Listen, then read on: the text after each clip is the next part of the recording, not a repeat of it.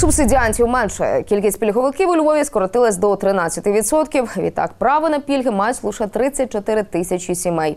Загалом ж у місті є майже 250 тисяч родин.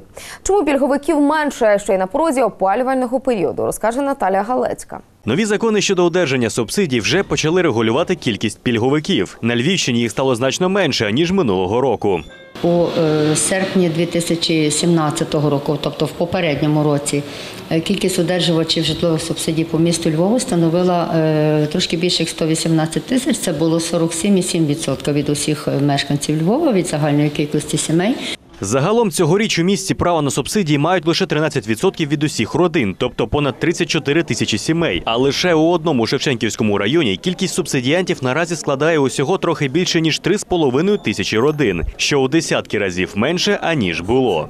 Порівняно з минулим роком, тобто з 1 вересня 2017 року, була кількість сімей, які отримували субсидії, було 23 тисячі 682 особи. Більшість із тих, хто втратив право на пільги, це сім'ї безробітних або ж ті, хто отримає зарплатню менше за мінімалку, а також володарі машини, житла у понад 100 квадратних метрів або ж працездатних родичів, які живуть за кордоном. На сьогоднішній день у нас в області отримують субсидію майже 120 тисяч сімей, що в принципі є показником трішки меншим порівняно з минулим роком, але ну, слід розуміти, що це ще не опальний період. І я думаю, що з початком настання опального періоду, тобто через місяць, е, десь середина жовтня, я думаю, ця кількість почне збільшуватися.